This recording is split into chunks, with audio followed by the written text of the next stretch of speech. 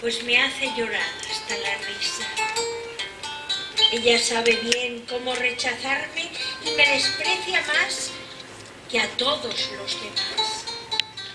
Nadie podría describir su cuerpo entera, ni escribir sobre él.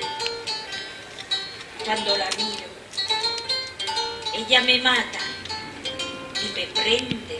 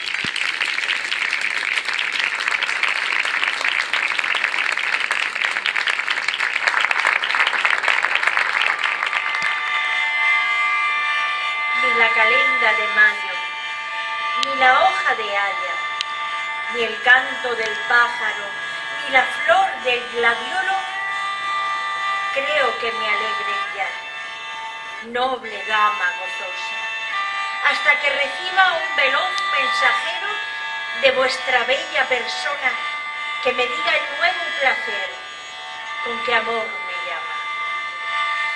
Mi bella amiga, por Dios, que el celoso no se ría de mi dolor, pues vendería caro sus celos si separa a tales amantes.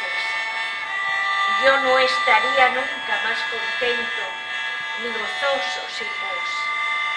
Y tomaría tal camino que nadie me volvería a ver. Y moriré, noble señora, el día que os pierda.